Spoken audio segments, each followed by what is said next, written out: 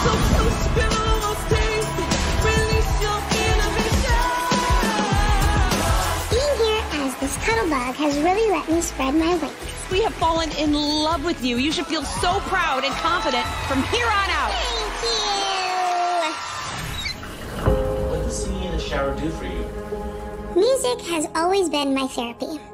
And while some people sing pop hits in the shower for fun, I use it as a time of total emotional release.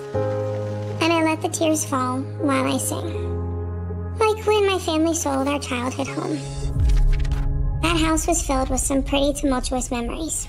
Number, Number three, three. three seasons of a show or three albums? Okay. Growing up was tough.